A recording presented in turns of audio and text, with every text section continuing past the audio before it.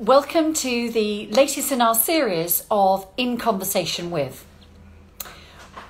Today we are shining the spotlight on Emma Hammett, who is the founder of First Aid for Life.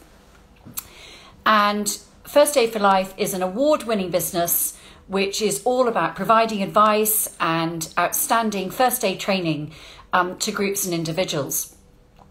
And in our In Conversation series, we are going to be shining the spotlight on different entrepreneurs, finding out what inspires them, what inspired them to start their business, what drives them, what makes them tick, hear about what they've learned along the way, the big wins, some of the tough times as well. And they're going to share with us some of their best advice as uh, for those of us who may be looking to start our own business as well. And we all know we, we never stop learning. And so it's just fascinating to hear from other business owners and to hear about their own steps along the way and their, their own journey. So great to see that we've got Emma who's about to be joining us. Uh, Emma is the founder of, and uh, she'll be joining us in, in just a minute or two. Last week we were talking to Stephanie Betts, who was the founder of Josephine Home, and here she is. Hi, Emma. Hello, Sarah. Thank you very much for inviting me to join you. Well, my pleasure. And just to let you know that uh, I can hear you perfectly. I think you can hear me this time. I certainly hear you. Um, here are the joys of technology. We did a, a sound check uh, just earlier. Everyone could hear Emma, but couldn't hear me. Um, last night we did a, a, tech check and it all worked perfectly. So fingers crossed, everything everything goes to plan. Um, and so great to have you on board, Emma. Thank you so much for for taking the time out of your very busy day to join us. What I was just explaining is this is our In Conversation series. This is where we shine the spotlight on leading entrepreneurs. And we love to hear from those entrepreneurs within our network. What drove you to start your business? What was your big inspiration? What makes you tick? What you've learned along the way? Delighted if you can share some of your big wins, but also share candidly some of the tough times as well, and some of the advice um, that uh, you'd like to impart to us as well. So, if I, I'd like to begin by asking you just to tell me a bit more about First Aid for Life and what was the inspiration for it. Okay, well, thank you. So, First Aid for Life is a multi award winning um, first aid training business. We're fully regulated, and our trainers are highly experienced medical, health, and emergency services professionals. And that's what makes this different. So I started First Aid for Life in 2007, and my background is nursing. So when I was nursing and I was in A&E and also day-to-day nursing, um, I saw so many times where prompt and appropriate first aid would have made a massive difference. So, for example, I was working in the burns unit and I had a little boy who was really badly burnt. But his mum had no idea that cool running water was the answer for a burn. And when she spilt um, a piping hot cup of coffee over her son, she ran outside screaming and getting help. Meanwhile, he was cooking. So it's that basic. First aid is not complicated. It's simple, it's basic, it saves lives, it prevents scarring. And so from that moment, it was something that um, I felt very passionate about that people should be doing and they should, they should learn about. And when I had my first daughter, or my daughter, because I've got a daughter and a son. So when I had my daughter, um, I looked around for a, a first aid course because I felt it was important for me to refresh my skills as well because it had been a while since since I'd done my first aid training and, and your skills do lapse. And I was shocked at the disparity because I don't know if you knew, Sarah, but actually you can set up a first aid training company with just a three day first aid at work course. Gosh.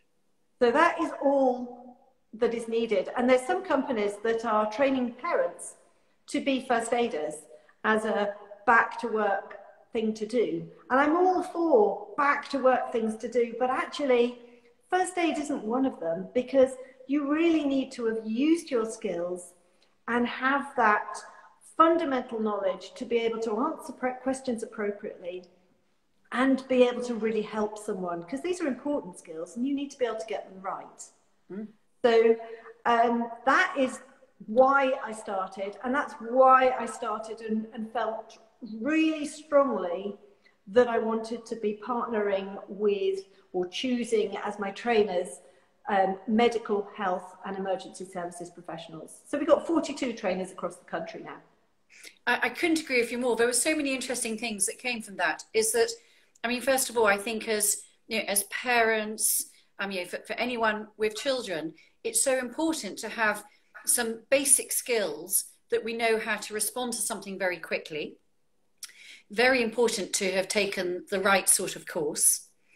And but equally, as you then also point out, that the course that you choose needs to be delivered by people who are genuinely well trained, properly qualified, and understand what they're doing, um, because otherwise it, you know, it's, it's, incredibly dangerous. Mm-hmm. And um, and so, how did the business evolve from the idea to recognizing what you thought was missing, perhaps in, in the industry, and what was being already provided out there? To then you know, building what is now a multi-award winning business that you know you train thousands and thousands of people every year. Well it's taken a while. So, yeah. so initially as with you know, all businesses it was me. So i was it. I was the admin i was the trainer i was um, i was the marketing person i was the it person. Uh, and i'm sure there's lots of people starting off with businesses for which they are in exactly that same boat. And um, I, I work as a, um, or I help as a mentor at the British Library, and I work with other um, sort of budding entrepreneurs, helping them on their journal, journey. Uh, and it's, it's really important that um, you think very carefully about what you're going to be doing and ensure it's something that you are passionate about. So, um, I mean, I started this in 2007, so I've had a lot of years of growing, steadily growing. And I think one of the big initial moments when it went from a one man band to a business is when you start bringing other people on board. Mm. So when you start valuing your time appropriately, because as a one man band, it's very easy to think, oh, I can't afford to pay someone to do that. And to then do it yourself. But actually, if you sit down and actually put a figure on the value of your time and what you could be doing with your time if you're using it appropriately, and where your skill set is and where what you're good at and delegate anything else that can be delegated. A, you'll end up with um, a, a, saner, a saner lifestyle. B, you'll end up doing stuff that you enjoy more. I mean, I'm really not that great at wading through my inbox. So I've got two fabulous office managers for whom they are, they are superb at just organizing and structuring and making sure that all the operations around the business work as they should do. So mm. that's not the right thing for me to be doing. I can cover it, but it's not the right thing for me to be doing on a day to day basis. Likewise, my finance. You know, I can add up, but actually, that's not why I do my business. That's not the bit that excites me about it. So I outsource that. Then look at what you are doing, sit down and work out where you are spending your time, and then carefully take out the bits that you're not, don't float your boat, and concentrate on the other bit. Then you're able to grow, um, grow your business. The other side of it as well is realize that other people can do what you're doing just as well and actually better than you can. So initially it was like, well, I, I'm the only one that can train because because I, I know how it should be done. But that's rubbish.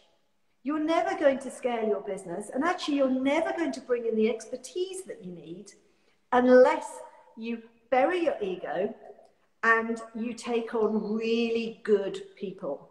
So, my trainers have all got different skill sets, different specialisms, and they are all fabulous trainers and make sure that you have a really robust interview process. Uh, try not to um, employ friends. I have done that in the past, and sometimes it's worked and sometimes it hasn't worked so well. It's always easier to go on a straight business relationship. And then actually, you know where you are and it, it makes life easier. They can become friends as you work with them, but it is a, slightly different working relationship, which, which is healthier, I think there were so many important lessons in that. That was just absolutely brilliant. And I think for, for anyone that is is watching and thinking how do they scale their business to the next stage, there were so many important lessons in there. You know, whether it is being prepared, being prepared to outsource things, but as you quite rightly point out, aren't necessarily your strengths or your passion, um, and also being prepared to let go as and when it feels right and when you have the confidence in, in other people and so i i think it's that's just so fascinating because there'll be so many people watching this who aren't going to go and run a first aid business but they are in a business where or they are thinking of launching a business or scaling it up how do you take it to that point where you are employing other people recruiting other people and you know creating something that is just so much bigger and, and um, and more impactful? Yeah, it's, it's about, um, as I say, burying your ego, understanding what you're good at, and valuing your time. And also ensuring that, I mean, the beauty of a small business is that we are agile. So a lot of small businesses have been hit really hard with COVID, but actually, um, we can pivot and we can pivot quite quickly and we can make different decisions far quicker than some of the bigger organizations. So we may not have the resources behind us, but actually we've got quick decision making and we can look for opportunities and we can take those opportunities quickly. Mm. So um, all sorts of things you can you can look at. So um, look at so, so again going back to starting your business, make sure you've done your research. Make sure that what you are doing is that, that there is a market for it. Hmm. Uh, and don't just do your research by asking other people, because you will have lots of yes people and lots of naysayers. You actually need to do proper research and find out if this is something sensible. Do the same for the price, the pricing, and always go in on quality rather than trying to go in with a with a deal because people respect quality and quality lasts. So go in as a quality business and, um, and as I say, outsource, build on your expertise. So make sure it is something that you're good at and you're passionate about because you will be doing it a lot. So the idea of your work-life balance um, and having a better work-life balance, running your own business, um, as I'm sure Sarah you will say as well, is, is, a, is a myth you, you will be able to manage your time differently. So if you've got a family, yes, you'll be able to go to, you know, post-COVID sports day and, and assemblies and all the things, you know, you won't miss a Christmas play, but you will still have to get that work done. And that might be that you're doing it late in the evening because it doesn't go away. So I couldn't agree with you more. yeah. so you need to you need to balance that and understand what you want to do. So make sure you've, as, as I said, you, you've done your research, you've got a market um, that is going to work, and and look at the touch points as well. So in terms of marketing, look at all the different ways that people are going to come across you, because research has shown that people need to be exposed to you. Oh, multiple times between sort of seven and 11 times before they're actually ready to buy. So look about where you're turning up. So thank you, Sarah. I'm turning up on the Really Helpful Club now at the moment. So hopefully, anyone that's listening, if they're then talking to someone who says, Oh, I'm looking for a first aid course, will think, Oh, there was someone on the Really Helpful Club that did that. And then they still might not be ready. And then maybe something pops up on Facebook or maybe they come across one of my books or they see an article that I've written somewhere. And those different touch points are what reinforce your business and make it more credible and make it more likely that you will end up selling whatever it is that you are selling. And the other thing is, do not be scared of selling because in the UK, people think of selling as a dirty word, but actually, selling is what we do to stay in business. And if you feel you're being sold to, then actually it's not being done very well. So selling should be the positioning of something that that you want or that you possibly could want. So there needs to be a buyer need there by someone who's got the right answer to your problems. And it should be customer focused.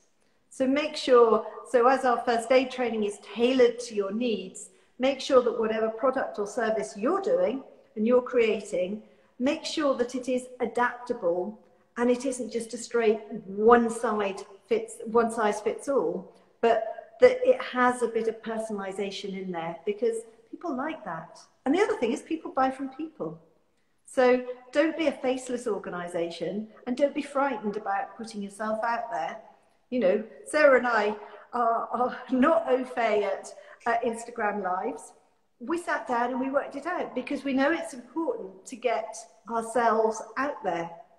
And if it all goes well, I, I think you're, you're sharing so many great messages here, and it's lovely. We've got some great comments coming in. So true. One of the biggest problems we have is most people want quality training but we're not prepared to pay for it. You know, so so please do keep sending in the comments. It, it's great, um, great to to um, see your response to Emma's brilliant advice. Um, so Emma, difficult question. This. What have you found the hardest part about setting up your business? I think building resilience. I think actually realizing that not everyone is your customer, that you will have knockbacks along the way. Um, that you will have to change. You'll have to look at different things. So something that may you may have been really passionate and excited about, if mm. it doesn't fly and if it's not going to if it's not a good use of your time and it's not adding to the business, then it has to go. So actually being a little bit ruthless is a tough is, is, is harder than I mean, but but keeping focused on your core values and making sure that you are branching and expanding. So, for example, we started onlinefirstaid.com and we started that about ooh, six years ago now. And thank goodness we did. so, yeah. Because without onlinefirstaid.com, in that first lockdown, we would have had no income at all. So, in the second lockdown, fortunately, because we are a COVID secure business, and because um, we are um, running essential training, we are allowed to continue, which is wonderful. But the combination of onlinefirstaid.com and First Aid for Life has meant we can offer a whole variety of different solutions to people looking to train. So, right at the start of um, of, of lockdown goes slightly off your question, but I'm sort of mm. going on to how we have coped in terms of you asking the tough times. I, Which I mean, terribly nothing, important. Nothing has been as tough as this last six months. So, in terms of the tough times, as lockdown came, we were approached by McDonald's to ask if we could help them with first aid training for all their managers in UK and Ireland. And of course we could. So we sat down and or I sat down because at that point I had no staff because they were all furloughed and wrote a course for McDonald's and I, we've we've put um, nearly a thousand managers um, through that now uh, which was fantastic and the same with the Royal College of Chiropractors because they all needed to um, do first aid training in order to revalidate and and um, the Royal College of Chiropractors uh, and, the, and the General Chiropractic Council to, to um, allow them to continue to practice. So it was really important to them, but they, um, they couldn't get onto a course because all the courses were shut. So it was a, a lifesaver for them at that point because they, they had to revalidate um, by the beginning of October. So we wrote that with the Royal College of Chiropractors. And we're now working with the Maudsley Hospital on a really, really exciting um, partnership um, where we are, um, well, I've got, I've got online mental health courses that they love. And now we're working on a blended one, which will work with them and the, the Maudsley um, training team. And they will be bringing in um, actors to do um, both case studies and to do simulations um, in order to get a real quality mental health first aid course, um, the likes of which doesn't exist at the moment.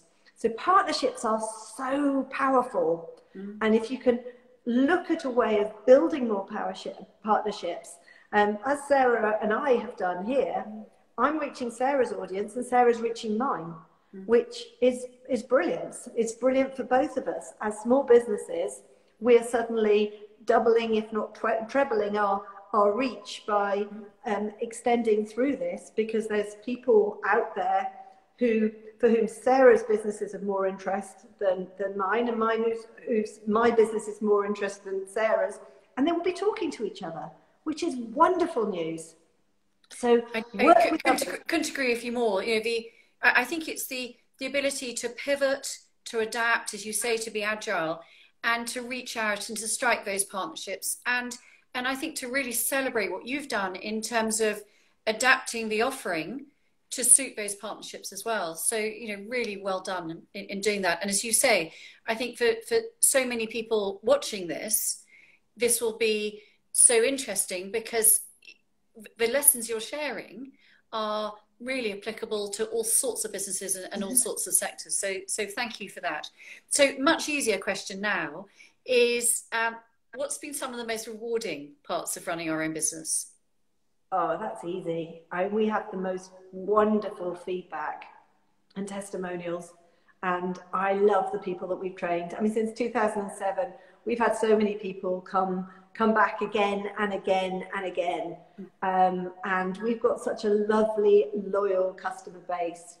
And they share, they share the most incredible things that they've done. I mean, they are very brave, a lot of the, the people that, you know, they would have come on my course and then something will happen and they are able to, to use the skills that they've learnt and and quite often save a life and you can't ask for, for something more powerful than that in terms of, of mm. feedback and, and sharing so it's very humbling what people are able to do and thankfully people are really nice about letting us know um, yep. and sharing that information. So that's what keeps us going. The really lovely feedback that we have on a daily basis. Um, thank you to our trainers and thank you to you know the team here. It, they are outstanding. Well, various members of my family, including myself, we've all done your course, and it's so good because it, I think it's so empowering. It's one of those life skills that everybody should have in school, everyone should have as an adult and because it's one of those things it's like an insurance policy. You never know if you're going to, going to need it. We've got so many people joining us um, some lovely comments. Here's a uh, here's a question for you. Thank you so much for for commenting and then i've got one final question for you emma because we don't want to take up too much of your day um, emma how do you cope with having people approach you for a training session and then asking for a proposal but they never get back to you that's life, I'm afraid. Yeah. that, that is how it is. I tell you though, a lot of the time, it is actually time that gets in the way. So if you have a robust CRM system, so a customer relations management tool of some sort, then getting back to them and reminding them in a nice way on a regular basis, you might need to wait a few months. So it might be that for example, the person was in a supermarket and a child uh, in the trolley next to them started choking. And they saw that and thought, oh my goodness, I wouldn't know what to do if that happened. Mm. And then they sent me an email and I got back to them and then nothing happens. And then they carry on. And then they speak to someone else who said, you know what, I had a you know, terrible thing happen to me. And then it brings it back to them. And then maybe again, like I said before, you know, they, they are sitting there and one of my Facebook ads pops up. Or they hear this from Sarah and suddenly they think, oh, I was going to do that and I haven't been in touch. So I think don't give up on anyone until they tell you um, that they really don't want to hear you, from you anymore, in which case, absolutely, we are not spammers at all. But until they tell you they're not interested, then it might just be it's a timing issue. So don't give up on them and don't take it personally. Don't take any of this personally. I started off with all the local magazines that sort of contact you when they see a new business and they all tell you that they want you to advertise. And I started off and I was advertising left, right, and centre until I actually measured it and realised that actually some of that was, was a complete waste of money. Some of it wasn't, but some of it was. So measure what you're spending your money in on, only use and do what has a return. So make sure you're doing it in a structured way rather than a scattergun approach. And the same with your customers. And we all know that actually the old Pareto theory of sort of 80% of your business will come from 20% of your customers is true. And it's true for any industry. So that 80% could convert and become one of the 20% in time, but at the moment, they're just out there. So don't get upset, don't be frustrated, just keep them on the back burner, and they'll either come to you or they won't really important advice. Now we've got a really good question that, um, that's come in. So what would your tips be for some emotional first aid for the elderly generation during COVID? And I think that is, thank you so much for sharing that. It's so relevant uh, right now. So, so Emma, over to you. It's a really difficult one. I mean, that's going from sort of practical business advice straight onto our sort of first aid advice. Uh, I mean, it's, it's connecting them so it depends whether they are able to, you know, if they're able to use technology, then that has been fantastic. So we've had to teach my mother-in-law multiple times how to use her iPad that with this frightening thing that, that she had. Um, but now she can log into church. And when lockdown was eased, she forgot how to use it again. And now we've had to re-educate her to use it. And it's getting that link. And that link might be a neighbor. It might be you going and standing on the doorstep. It might be that she joins, they join your bubble. It might be that they can't. But I think um, getting that contact and allowing them to, to realize that you care, um, telephone calls. Um, we've got uh, the Stay Safe Dot support um, that we set up with Age UK and ROSPA. And that's got some additional information. But I think loneliness is a real issue for older people. Uh, they may not even realize that they're lonely, um, but sometimes it's that lack of contact that we take for granted that we've suddenly lost in, in lockdown. Mm. And also vulnerability. Vulnerability both physically, but vulnerability to some really quite nasty scammers out there that um, can uh, have been having a field day at the moment, particularly during lockdown. So making sure that older people and, and people who are alone have access uh, and feel that they can approach you so that if they um, are feeling vulnerable, or if they're being approached by someone and it doesn't feel quite right, or even if they just want to sound something from you, that they can pick up the phone and do that. So it's making sure that they feel included uh, and thinking of different ways to do that. Um, but that's a really good point, and I think I shall write a blog post on that. Thank you. Thank you so much, Emma. I'm very conscious we've taken up a lot of your time. For anyone that joined us during the course of this, the great news is we are going to share this to IGTV and we'll be putting um, this onto the Really Helpful Club website. So you'll be able to watch the, the entire um, interview um, at your leisure. Emma, thank you so much for sharing both your insights as a first aid expert. Um, you know, you have so much wealth of knowledge. I know there's so many other topics that, um, that we could cover. And, but also, I thank you for talking so candidly about your experience as a, as a business owner, starting up your business, some of the trials and obviously the, you know, the rewards of, of doing that. And I've just sort of jotted down a, a few, a few sort of just, um, uh, snippets from what you've said, which I think are really just so relevant and, and so pertinent for anyone. You know, about being agile, uh, being prepared to outsource what you're not necessarily good at or don't feel a passion for. I love that. Bury your ego. It's you know it's something that I think we all need a, a good reminder of um, from time to time. And being focused on your core values, which again has been really important during COVID, where each and every one of us has had to pivot our business to a you know, a greater or lesser extent, but but to remain focused on your core values so that people know who you are and, and what you stand for. And of course, resilience, resilience, resilience. you know, for each and every one of us. So thank you so much, Emma. Thank you for joining us. Please do find the interview on the Really Helpful Club site and do go and visit Emma um, on the First Aid for Life site as well. And um, we look forward um, to connecting with you again. Lovely. Thank you so much. And yep, stay safe, everyone out there. It's strange old times. Thanks so much, Emma. Enjoy the rest of your day. And you. Bye.